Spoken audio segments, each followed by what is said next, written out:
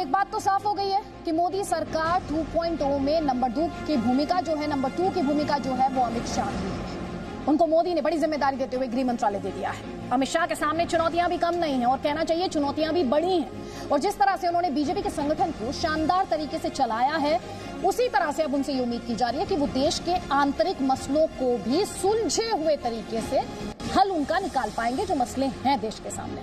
अमित शाह की छवि अपने काम में अपना सौ फ़ीसदी देने की रही है। ऐसे में उनसे ये उम्मीद की जा रही है कि वो देश की उन समस्याओं को भी सुलझाने में कामयाब हो जाएँगे, जिनका सामना देश सालों से, बल्कि मुझे कहना चाहिए कई दशकों से जिन समस्याओं ने देश को उलझा कर रखा है। बड़ी बहस के बड़े सवाल एक एक करके आपके स्क्रीन पर अब आप देखने वाले हैं इस बड़ी वॉल पर।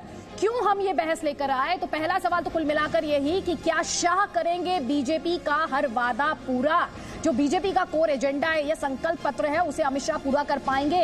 आर्टिकल 370 आर्टिकल 35 ए और घुसपैठ। आपको याद होंगे अमित शाह के भाषण, बहुत मुखर रहे हैं वो। क्या अब इनके लिए उल्टी गिनती शुरू हो चुकी है तीनों ही मुद्दों की? और जब आप कश्मीर की बात करते हैं तो फिर आप पाकिस्तान को नहीं भूल सकते। तो जैसा कि शिवसेना ने कहा कि पाकिस्तान समस्या का हल कोई निकाल सकता है तो अमित शाह है तो क्या पाकिस्तान की समस्या का हल भी अमित शाह निकाल देंगे? टुकड़े टुकड़े गैंग को अब क्या सबूत मिलेगा? ये भी अपने आप में एक बड़ा सवाल है। और आपको प्रधानमंत्री की बात याद होगी। अंगणित से नहीं। केमिस्ट्री से बात बनती है तो क्या अंक गणित से नहीं? मोदी शाह की केमिस्ट्री से हल निकलेंगे और आप जानते हैं, पहले पार्टी, उसके बाद प्रचार, और आप कहना चाहिए, क्या आप ये दोनों मिलकर चलाएँगे सरकार? वो भी कामयाब सरकार, वो न्यू इंडिया जिसकी विजन प्राइम मिनिस्टर बार बार भारत के सामने रखते आए हैं, या कहना चाहिए इंडिया के सामने रखते आए हैं तो क्या उस विजन को प्राइम मिनिस्टर अटेन कर पाएँगे फुलफिल कर पाएँगे, चरितार्थ कर पाएँगे, साकार कर पाएँगे? कई खास मेहमान हमारे साथ जल्दी से बता दूँ बीजेपी का पक्ष रखने के लिए प्रेम शुक्ला जी हमारे साथ। बहुत बहुत स्वागत है आपका। हमारे साथ आमिर हैदर जैदी है सीपीआई के नेता। स्वागत है सर आपका भी। संजीव तिवारी प्रोफेसर हैं आरएसएस सपोर्टर आपका भी स्वागत। शांतनु गुप्ता, मुस्कुरा रहे हैं पॉलिटिकल एनालिस्ट राइट की तरफ़ झुकाव और विकास गुप्ता पॉलिटिकल एनालिस्ट कांग्रेस की तरफ़ झुकाव। आप सभी का बहुत बहुत स्वागत है इस डिबेट के लिए समय निकालने के लिए और अपनी बात हमारे दर्शकों के सामने रखने के लिए। प्रेम शुक्ला जी, सबसे पहला सवाल सर मेरा आपसे, ये बल्कि सवाल कम एक टिप्पणी ज़्यादा और उम्मीद करती हूँ आप ईमानदारी से इसमें और ऐड करेंगे। प्राइम मिनिस्टर मोदी और अमित शाह की जो केमिस्ट्री है प्राइम मिनिस्टर की लाइन उठाओ तो अंगणित से नहीं केमिस्ट्री से बात बनती है। और वो केमिस्ट्री वो तालमेल वो सामंजस्य हमें नरेंद्र मोदी और अमित शाह में दिखाई देता है। और खास तौर पर ये देखते हुए कश्मीर आर्टिकल 370, 35 ये वो समस्याएँ हैं जिन्हें टैकल करने के लिए एक मैकेनिज्म की ज़रूरत है। और यही जोड़ी जो है उसको सुलझाने में सक्षम दिखती है। निश्चित। ये दोनों के बीच जिस तरह का रसायन है गुजरात में जिस तरह से सफलतापूर्वक उन्होंने सरकार का संचालन किया और गुजरात इतना दृढ़ता से भारतीय जनता पार्टी के साथ खड़ा है हमारे विचारधारा के साथ खड़ा है उसका श्रेय इस जोड़ी को जाता है।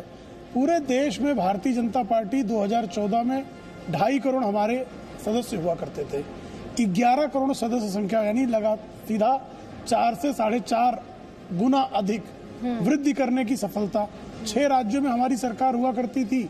सोलह राज्यों में एनडीए की सरकार है। दूसरी बार जो है जब अब की बार तीन पहली बार जब 272 प्लस का नारा किया दिया तो लोगों को लगा कि असंभव और जयदी जी बहुत मज़ाक उड़ा रहे थे। लेकिन तीन अब की बार 300 के पार कहा तो जयदी जी बहुत बौखला जाते थे विकास गुप्ता जी बहुत विरोध करते थे। लेकिन वो भी चीज़ें 300 के पार पहुँचा दी। जो हमारी समस्या भारतीय जनसंघ के जमाने से जो हमारा हमारी निष्ठा रही है जो हमारे हम, हमारे संकल्प में हमेशा से रहा है वो अनुच्छेद 370 और 35 ए है। इस बार के भी संकल्प पत्र में वो है। हम निश्चित तौर पर कश्मीर को भारत का अभिन्न हिस्सा जिस तरह से होना चाहिए। जिसमें एक बात आए अलगाववादी शक्तियाँ सतत वहाँ सक्रिय रहती हैं। पाकिस्तान प्रायोजित आतंकवाद वहाँ जिस तरह से रक्त रंजित राजनीति करता है उसको खत्म करने के लिए वहाँ आतंकवाद के समूल नाश का एक अभियान चल रहा है। जी। और आदरणीय अमित शाह जी के आने के बाद उस अभियान को और बल मिलेगा। ये हर कोई जानता है। ठीक ठीक। जैदी साहब का नाम लिया उन्हीं का कमेंट ले लेती हूँ। देखिए, प्रधानमंत्री जी ने एक चीज़ कही है, सबका साथ, सबका विकास, सबका विश्वास। और हम अभी इसे देख रहे हैं, क्योंकि इस जो कार्यकाल है, अभी इनका नामाए अमाल बिल्कुल खाली है। इसमें कुछ नहीं लिखा हुआ है। समझ गए? और नामाए अमाल लिखने की ज़िम्मेदारी आदित्य त्यागी की है, ऐसे पत्रकारों की है, यही निकाल निकाल के लाएँगे सरकार की क्या कमियाँ, क्या खामियाँ। अब तो आप ये भी नहीं कह सकते कि साहब, एनडीए की सरकार है, बीजेपी को का अल्प मत में है अब तो सब आपको काम करना है, जो आपने वायदे किए हैं देश, वो आपकी अग्नि परीक्षा है इस समय देश के अंदर। लेकिन जब प्रधानमंत्री के इसी नारे को मैं दो कदम चल के हरियाणा में देखता हूँ, और वहाँ हरियाणा सरकार का एक फैसला ये आता है कि साहब, घर में ईद पे जाइए और हंडिया तो हंडिया चेक कीजिए, उसमें पक क्या रहा। तो फिर विश्वास इस तरह से जीता जीता जाएगा तो मैं प्रधानमंत्री जी को धन्यवाद ज़रूर करूँगा कि प्रधानमंत्री जी विश्वास जीतने का तरीका अनोखा तलाशा है हरियाणा सरकार ने। ठीक है। जहरी साहब, मैं आगे बढ़ूं, बस एक छोटे से कमेंट के साथ। अदिति त्यागी का तो काम है सवाल पूछना। सरकार अच्छा काम करेगी तो अदिति त्यागी उस पर बात करेगी। सरकार बुरा काम करेगी तो सवाल उठाएगी, क्योंकि अदिति त्यागी तो जनता की आवाज़ है। संजीव तिवारी जी। देखिए अदिति जी, जहाँ तक इस सरकार का सवाल है, सरकार को जिस तरह से जनता ने बहुमत दिया है और सांस्कृतिक राष्ट्रवाद के ऊपर मुहर लगाई है तो तीन चार जो महत्वपूर्ण मुद्दे हैं, उसमें एक मुद्दा है एनआरसी का, जिसके बारे में कहा जा रहा है। दूसरा मुद्दा है कश्मीर की समस्या वर्षों से चली आ रही है, उसको समाप्त करना, धारा 370 को समाप्त करना 35 ए को समाप्त करना। कश्मीरी पंडितों को जो विस्थापित हो चुके उनको वापस वैली में पहुंचाना। यही नहीं नक्सलवाद का समूल नष्ट करना। इस दिशा में पिछली सरकार ने महत्वपूर्ण कदम उठाया है। भव्य श्री राम मंदिर का निर्माण करना वैसे रास्ता तो उसका कोर्ट से जाता है अगर कोर्ट से रास्ता नहीं बने तो उस रास्ते का निर्माण करना। सबरीमाला के मंदिर की जो परंपराएँ तोड़ी गई हैं उस परंपराओं को पुनर्स्थापित करना और नॉर्थ ईस्ट में अलगाववाद और आतंकवाद का समूल नष्ट करना मुझे लग रहा है यह बहुत बड़ी चुनौती है। और इन चुनौतियों में खड़े उतरेंगे अमित शाह जी ऐसा हमारा विश्वास है। क्योंकि इसके पहले भी उन्होंने इस प्रकार की बातें गुजरात में की है और वहाँ से आतंकवाद का समूल नष्ट किया है उसको जड़ से खत्म किया है और आज के दिन में जो सबसे इन्वेस्टमेंट फ्रेंडली और सबसे पीसफुल स्टेट है तो वह गुजरात रहा है पिछले दस पंद्रह सालों में। तो यह देखते हुए मुझे लग रहा है जो राजनाथ जी ने अच्छे काम किए हैं पिछली सरकार में जो ज़मीन को बढ़िया उर्वरक बनाया गया है उसमें इस बार सिंचाई की जाएगी और अच्छी खेती होगी और इन तमाम समस्याओं को समाधान किया जाएगा प्रेम शुक्ला जी उन्होंने आपको संकल्प पत्र के जो मूल एजेंडा था ना वो गिनवा दिया सर। आगे और डिस्कस करूँगे। विकास गिनाएँगे हमसे हमसे ही अपेक्षा करेंगे सीपीएम थोड़े अपेक्षा करेंगे ठीक ठीक ठीक वो जानते हैं कि इनको हमें पूरा करना ठीक है। विकास गुप्ता जी सर प्लीज़ एक कॉमेंट ले लूँ क्योंकि उससे पहले मैं चाहती हूँ कि सब गेस्ट की एक एक बात बात हो जाए। जी विकास जी देखिए अदिति जी अब मुझे लगता है कि अब आने वाले इस पाँच वर्ष में ना तो भाजपा के नेता और ना ही भाजपा के प्रवक्ता स्टूडियो में आकर ये कहें कि जी पहले क्या हुआ था उसको देखिए क्योंकि अब आपको एक इनिंग्स मिल चुकी अब आप सेकेंड इनिंग्स पे हैं दसवें साल पाँच से दस साल के कार्यकाल में अब आप आ गए। तो अब आपकी जिम्मेवारी बनती है कि जो जो कमियाँ खामियाँ हैं उन उन त्रुटियों को ठीक करिए बनस्पत पिछली सरकारों पे उसका ठीक रखो एक एक सेकंड हाँ। दूसरी चीज़। जो सबसे महत्वपूर्ण मैं उन बातों को नहीं लूँगा तीन सौ सत्तर पैंतीस से क्योंकि वो बातें हो चुकी हैं। आज ही मैं जब नीचे से आपके स्टूडियो में ऊपर आ रहा था तो रिसेप्शन पे आ रहा था कि फोर्थ क्वार्टर का जीडीपी ग्रोथ 5.8 परसेंट है which is the lowest in last five years तो मुझे लगता है कि 370 पैंतीस से नॉर्थ ईस्ट की बात हुई तो नॉर्थ ईस्ट में भी अधिकांश राज्यों में भाजपा की ही और एनडीए की सरकार है। तो मुझे लगता है कहीं ना कहीं जो सबसे बड़ा चैलेंज अगले तीन महीने में है वो इकोनॉमी को लेकर बिल्कुल इकोनॉमिक इकोनॉमिक एजेंडा। देख आपने अगर मेरा बातें सुनी हो हमारे दर्शकों ने ज़रूर सुनी होंगी बहुत ध्यान से वो सभी गेस्ट की और सब एंकर्स की बात सुनते हैं। हमने आपसे बार बार कहा सौ दिन के लिए मोदी सरकार एजेंडे की बात कर रही है। क्या होगा वो एजेंडा? और इसीलिए बार बार हम प्राइम मिनिस्टर मोदी और अमित शाह की केमिस्ट्री की बात करें। इस बड़ी बहस को आगे बढ़ाएँगे। शांतनु माफ़ी के साथ एक ब्रेक के लिए। जी न्यूज़ पर हम बात कर रहे हैं मोदी शाह की जोड़ी नंबर वन की। क्या ये केमिस्ट्री उस न्यू इंडिया का जो विजन है प्राइम मिनिस्टर का, जिसकी बात प्राइम मिनिस्टर बार बार करते आए हैं, क्या उसे साकार कर सकती है? समय जो तस्वीरें आप अपने स्क्रीन पर देख रहे हैं, आपको बता दें, ये मोदी 2.0 कैबिनेट जो है, उसकी पहली मीटिंग की तस्वीरें हैं। कई अहम फैसले, बड़े फैसले, कड़े फैसले इस मीटिंग से एक्सपेक्ट किए जा रहे हैं। और आपको बता दूँ, कई खास मेहमान लगातार हमारे साथ बने हुए शांतनु ब्रेक से पहले आपकी बात नहीं हो पाई थी, लेकिन बार बार मैं इस बात को एम्फेसाइज कर रही हूँ कि प्राइम मिनिस्टर मोदी और अमित शाह की जो केमिस्ट्री है, उससे लोग उम्मीद कर रहे हैं कि जो लॉन्ग स्टैंडिंग प्रॉब्लम्स हैं आर्टिकल 35 ए आर्टिकल 370 कश्मीर वहाँ पर हालात बेहतर होंगे अदिति, देखिए, हमने ये पहले जोड़ी देखी थी अटल अडवाणी जी के बीच में और जो डुओ होता है, वो पॉलिटिक्स में चलता है, जो हम गुजरात के समय से देख रहे हैं और राष्ट्रीय पटल पे उसको 2014 से प्रखर रूप से देख रहे हैं। अमित शाह को जो काम दिया गया, उन्होंने प्रकटता से निभाया, चाहे वो उत्तर प्रदेश हो, चाहे वो पूरा देश हो, चाहे सोलह सत्रह राज्यों के चुनाव हो, उन्होंने हर जगह डिलीवर किया है। तो आई थिंक जो गवर्नेंस का विजन है वो नरेंद्र मोदी का रहेगा। लेकिन साथ में एक आदमी चाहिए जिसको उसका पॉलिटिकल बाइन भी कर पाया और क्योंकि उन्होंने अपनी पार्टी संभाली है पिछले चार साल पाँच साल हर प्रदेश में कई कई बार दौरा करा है। जिलों में कई कई दार बार दौरा करा है। और होम मिनिस्ट्री होते समय उनके पास आईबी है इंटेलिजेंस है। तो वो जब भी कोई स्कीम हो चाहे वो एनआरसी हो चाहे वो थर्टी फाइव ए हो चाहे वो तीन सौ सत्तर हो उसका पूरे देश में क्या रिप्रिकेशन होगा उसको उसको सेंस कर पाएँगे और उसकी जो पॉलिटिकल डिलीवरी है वो कर पाएँगे। तो अब मेरे ख्याल से बहुत अच्छा संबल मिला है नरेंद्र मोदी को अपने कैबिनेट में।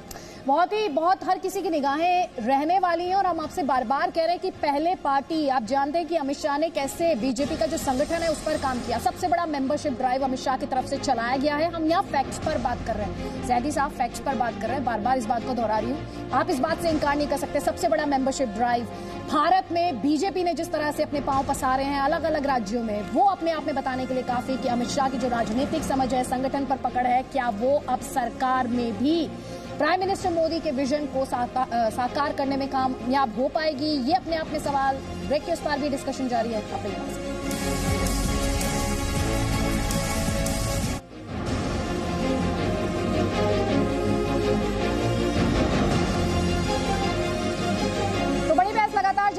अपडेट के साथ इस समय कैबिनेट की अपनी पहली मीटिंग चल रही है। आपको आगे अपडेट्स देते रहेंगे क्या बड़े और कड़े फैसले आते हैं सामने न्यूज़ आप तक पहुंचाते रहेंगे खबर पहुंचाते रहेंगे। प्राइम मिनिस्टर की तस्वीरें इस समय आप देख रहे हैं कैसे उन्होंने इस मीटिंग से पहले महात्मा गांधी को याद किया सरदार पटेल को याद किया कई खास मेहमान लगातार बने हुए हैं। प्रेम शुक्ला जी आर्टिकल 370, 35 है कश्मीर इस पर हर कोई बात कर रहा है पाकिस्तान पर भी हर कोई बात कर रहा है।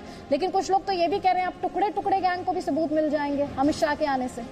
ये टुकड़े टुकड़े गैंग के खिलाफ पहले भी सबूत थे। टुकड़े टुकड़े गैंग पर कार्रवाई ही पहली बार हुई। वरना तो टुकड़े टुकड़े गैंग जो है वो नेशनल सिक्योरिटी काउंसिल में मेंबर हुआ नेशनल एडवाइजरी काउंसिल का सदस्य हुआ करता था। आज टुकड़े टुकड़े गैंग के लोगों को दुम दबाकर भागना कब से पड़ रहा है? जब से मोदी जी प्रधानमंत्री हुए। अब चूँकि शाह जी आ गए हैं तो शाह जी से तो वैसे भी जो है टुकड़े टुकड़े गैंग वालों को, को जो है अपना दिल टुकड़े टुकड़े होता हुआ ही दिखाई देगा। तो ऐसे टुकड़े टुकड़े वालों को समय रहते सुधर जाना चाहिए। जैदी साहब बहुत ध्यान से सुन रहे हैं। जवाब देना चाहते हैं आप? नहीं मसला ये है कि अभी टाइम पत्रिका ने हमारे जो सर्वोच्च प्रिय नेता हैं उन्हें कहा था कहना चाहिए वो टुकड़े टुकड़े गैंग के चीफ हैं। दस दिन बाद बदल भी दिया दस दिन बाद बदल भी दिया। सबसे बड़े यूनाइटर वही हैं। अच्छा। अब सत्ता की हानक या सत्ता का टेरर इतना नज़र आया कि। एक महीने के बाद ही पंद्रह दिन के सत्ता की बाद सद्भावना है। सुन लीजिए सुन लीजिए। सत्ता का टेरर टेरर नहीं होता सत्ता का जी। मैं- मैं आपका कम्युनिस्टों को आदत है कि स्टालिन होंगे तो दो पाँच करोड़ मार देंगे। माओ होंगे दो पाँच करोड़ मार देंगे। हमारी सत्ता कल्याणकारी है। हमारा लोकतंत्र जो है वो कल्याणकारी लोकतंत्र नहीं जब सत्ता को टेरर कहेंगे तो इसका मतलब है ये समझ रहे कम्युनिस्टों की सत्ता है। नहीं सत्ता का टेरर है शुक्ला जी वो वेस्ट बंगाल में है पश्चिम बंगाल में जहाँ आप जय श्री राम के नारे नहीं लगा सकते। हैं सत्ता का टेरर वहीं पे है। और उसी को गृह मंत्री जी को ठीक करना है कि जय श्री राम के नारे अगर भारत में नहीं लगा सकते तो कहाँ लगा सकते हैं? यह सबसे बड़ी चुनौती है आज के दिन में तो ये कहूँगा। जब टाइम पत्रिका ने कहा इतना टेरर वो आज वो क्या कह रहा है वो अलग बात है। लेकिन जैदी साहब एक बहुत मेरा कॉमन एक मेरा छोटा सा सवाल है आप ही जवाब दे दीजिएगा सर। हिंदुस्तान लोकतंत्र है यहाँ पे जनता की अदालत से बड़ी कोई अदालत है क्या सर? मैं तो सब कुछ सुन रहा था अगर मुझे भी साठ सेकंड देने बोलने के लिए तो बीच में अगर कोई बोलता है तो मुझे मालूम है ये कलाकारी अब नहीं चलेगी। ठीक, ठीक। अगर मैं बोलूँगा तो बीच में कोई नहीं बोलेगा और ये कलाकारी होती तो मैं नहीं बोलूँगा। अभी कहा इन्होंने कि गुजरात के अंदर जब होम मिनिस्टर आज मैं बोलना नहीं चाह रहा था मैंने कहा उनका नाम आए अमाल अभी खाली है गृह मंत्री की हैसियत से। जब वो कुछ करेंगे तो उस पर हम प्रतिक्रिया भी देंगे। लेकिन अभी मेरे मित्र ने कहा कि गुजरात के अंदर आतंकवाद वो समाप्त करते हैं। Yes. कोई इतिहासकार ऐसा नहीं बता सकता या देश का राजनीतिज्ञ कि गुजरात में कभी आतंकवाद था। हाँ बिल्कुल नहीं था। अरे इशरत जहाँ कौन थी? शांति पथ पे चली थी क्या? सोहराबुद्दीन कौन था अक्षरधाम अहमदाबाद, मंदिर के ऊपर आक्रमण किया गया था ये सब क्या था भाई? कितने लोग मारे गए आतंकी घटना थी कि नहीं? के हुआ था सुन लीजिए अगर उस तरह का वो आतंक जो वहाँ करके आए हैं वो आतंक नहीं था। दूसरी एक चीज़ और है अभी उनके ऊपर और जिम्मेदारियाँ जो देश उनकी तरफ़ देख रहा है। उन्होंने कहा किसानों की आमदनी हम दुगनी करेंगे सन 2022 तक। अब कोई औचित्य नहीं है जो ये कह दें कि साहब मुझे और दे दिए उन्होंने कहा कि अब मुझे एक पाँच साल और दीजिए जो भ्रष्टाचारियों को मैं जेल के मुहाने तक लेके आया हूँ अब मैं उन्हें जेल में भेजूँगा। एक मिनट सुन लीजिए वो देश देखेगा अभी आपके कहने निश्चिंत कहने से नहीं होगा। उन्होंने कहा कहा सवाल पूछ रहे तो जवाब तो अभी मिलेगा जी। सर आप बोलिए। नहीं चूँकि आपसे पूछा जा रहा है ये कलाकारी नहीं चलेगी। जवाब दे रहे हैं क्या?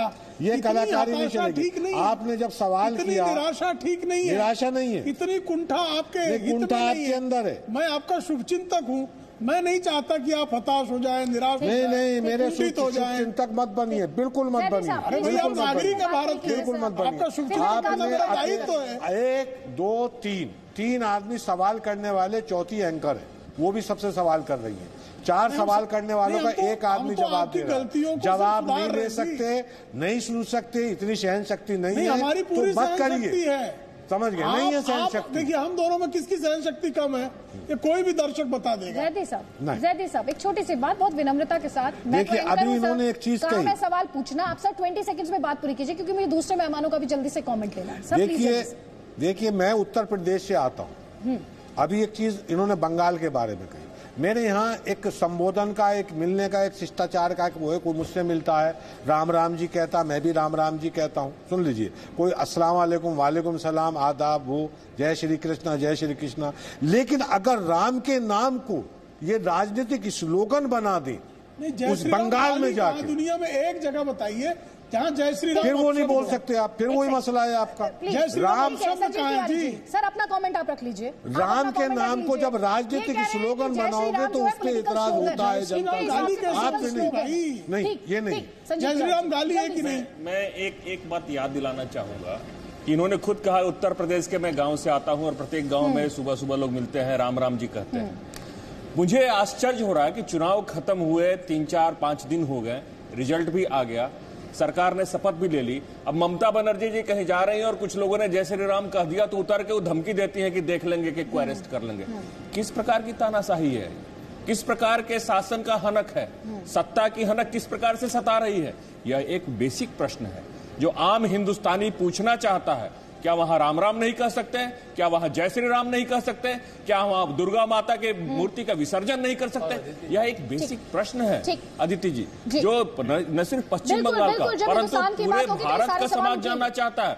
इस प्रकार की छद्म धर्म निरपेक्षता है। पाकिस्तान छद्म प्रेमी पंथ गैंग, निरपेक्षता है। बिल्कुल सही बात सर। पाकिस्तान प्रेमी गैंग अफजल प्रेमी गैंग ये सवाल पूछे और यही टुकड़े टुकड़े गैंग कुछ बोलने को तैयार नहीं है। अभिव्यक्ति की स्वतंत्रता नहीं है बिल्कुल अभिव्यक्ति की स्वतंत्रता सर। धार्मिक आस्था को प्रैक्टिस करने की आज़ादी जो कि कॉन्स्टिट्यूशन गारंटी जय श्री राम पे मुझे लगता है कि देश में किसी को भी आपत्ति नहीं हो सकती ममता को है। के लिए। एक मिनट एक सेकंड सिर्फ़ बीस सेकंड रुको जरा। लेकिन उसके आड़ में आप अगर ध्रुवीकरण की राजनीति करने की प्रयास करेंगे मुझे लगता है उस बात की आलोचना सभी को करनी चाहिए। जय श्री राम? देखिए हम लोग नॉर्थ इंडिया में रहे बचपन से जब जब भी किसी से बड़ों से मिले तो राम राम किया। बचपन से किया। इस, इस, नहीं आज भी नहीं छोड़ा। शाम को आज भी नहीं छोड़ा। आज भी नहीं छोड़ा। आप- आप लेकिन मैं ये यही मेरी बड़ी विनम्रता से ये एक बात कहना चाहता हूँ कि पॉलिटिकल पार्टीज़ को इसको ध्रुवीकरण की राजनीति बनाने से परहेज? करना चाहिए। सिर्फ़। मेरी मैंने एक बड़ी मुझे विकास जी के ध्रुवीकरण वाली आरोप का बात उत्तर जय देने श्री का राम से अवसर कैसे दें। होता मुझे समझ नहीं आता। प्रेम शुक्ला जी जल्दी से काउंटर उसके बाद दर्शकों को दिखाना ये राजनीति कर कौन है? सामान्य लोग जय श्री राम का नारा लगा रहे मुख्यमंत्री उतरती है कहती सबको पहचान उनके चमड़े उधड़वा दो।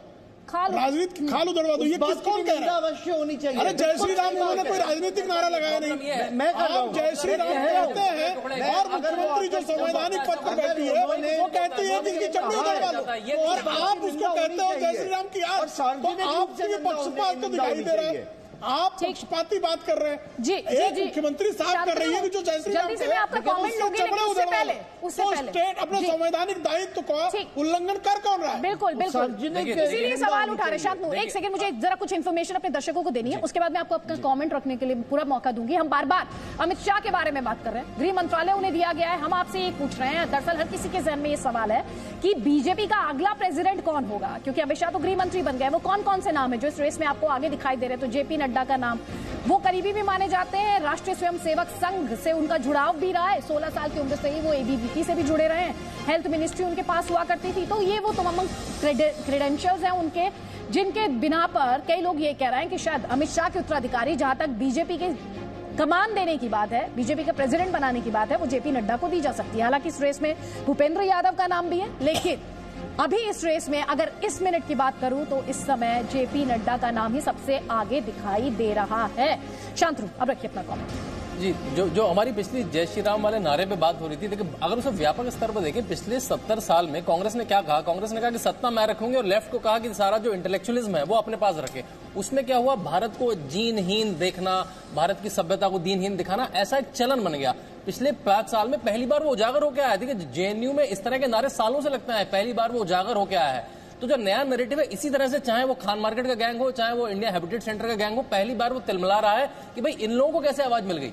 और अब वो जो अभिव्यक्ति की आज़ादी केवल एक तरफ़ थी वो हर तरफ़ आ गई। अब किताबें छपने लगी हैं मूवी बनने लगी हैं आदमी डिबेट में बात रखने लगा है तो वहाँ तिलमिलाहट है। जय श्री राम तो बस उसका एक उदाहरण। ठीक ठीक ठीक। प्रेम शुक्ला जी जो भी हमने थोड़ी देर पहले ग्राफिक चलाया कि भाई जिस तरह की पकड़ अमित शाह की बीजेपी में रही गृह मंत्रालय वो जा रहे हैं। तो अब आपको हम बार बार जेपी नड्डा का नाम यहाँ पर दिखा रहे हैं। कौन हो सकता है अमित शाह का उत्तराधिकारी? अगर मैं पार्टी में बात करूँ। देखिए भारतीय जनता पार्टी एक लोकतांत्रिक दल है उसकी अपने अध्यक्ष के चयन की संवैधानिक प्रक्रिया है। ये ऐसा तो है नहीं गर्भ में गांधी परिवार के आ गया तो अध्यक्ष तय हो गया। गर्भ में जो है समाजवादी पार्टी के अध्यक्ष कोई आ गया सपा का अध्यक्ष हो गया। भारतीय जनता पार्टी लोकतांत्रिक मूल्यों का पालन करने वाली संवैधानिक प्रक्रिया से उत्तम व्यक्ति को अध्यक्ष पद पर ले आएगी। ठीक है, जल्दी से कमेंट संजीव जी, आपका भी। आपके हिसाब से आपने पार्टी को इतना क्लोजली देखा है सब कुछ है। कौन हो सकता है? अमित शाह अभी कुछ भी पार्टी में तो बड़ा वैक्यूम अगर अमित शाह नहीं कोई वैक्यूम नहीं हुआ है। पार्टी कार्यकर्ताओं से बनी है और अमित शाह जी भी पार्टी के अंग हैं और ऐसा नहीं सरकार में चले जाने से उनकी सेवाएँ पार्टी के लिए बंद हो जाएँगी और न नरेंद्र मोदी जी की सेवाएँ बंद हो गई हैं। दोनों पार्ट एंड पार्सल हैं समन्वय से काम चलता है और जो भी एक अभी बता रहे थे शुक्ला जी कि अभी ये लोकतांत्रिक पार्टी है और इसकी प्रक्रिया है उस प्रक्रिया के अनुकूल अनुसार सर आप लोग बिल्कुल आज आप तो संजीव जी बिल्कुल जैसे नेता बात करते हैं जैसे प्रेम शुक्ला जी जवाब दे रहे थे ना। नहीं मैं नहीं वैसे जवाब में मैं अदिति जी वैसे जवाब नहीं दे रहा। देखिए जब जानकारी मुझे नहीं है तो बिना जानकारी के मैं स्पेकुलेट नहीं कर सकता हूँ। ठीक ठीक ये मुझे अधिकार नहीं है। बिल्कुल सही।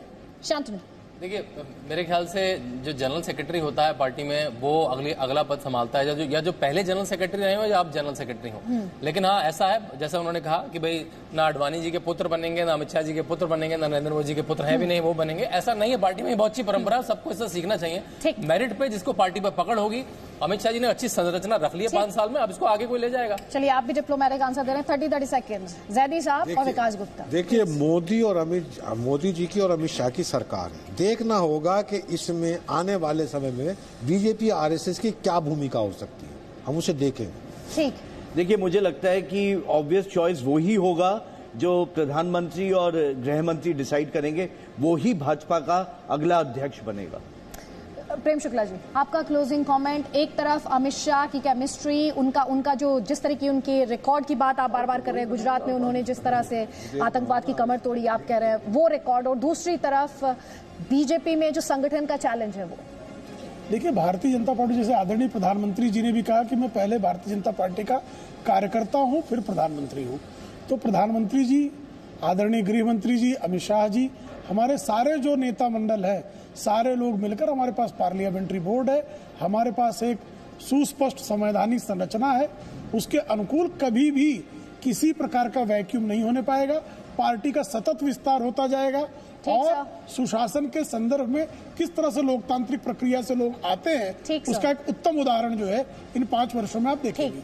सर उत्तम उदाहरण की बात आप करें बस आपसे भी मेहमानों का बहुत बहुत शुक्रिया लेकिन जाते जाते प्रेम शुक्ला जी चैलेंजेस एक बार आपको फिर से याद दिला देती हूँ जो वोटर के भी आपसे एक्सपेक्टेशन है, देश की जनता की एक्सपेक्टेशन है आर्टिकल 35 है आर्टिकल 370 घुसपैठियों की समस्या, नक्सलियों की समस्या, कश्मीर समस्या, पाकिस्तान को कैसे टैकल करना है? ये वो तमाम चैलेंजेस जिनके निदान का इंतज़ार, जिन्हें खत्म करने का इंतज़ार, जिनके सोल्यूशन का इंतज़ार हिंदुस्तान के 1.3 बिलियन पीपल कर रहे हैं। एक छोटे से ब्रेक के लिए यहाँ पर क्रेजी न्यूज़ पर खबरें जारी रहेंगी। आप साथ।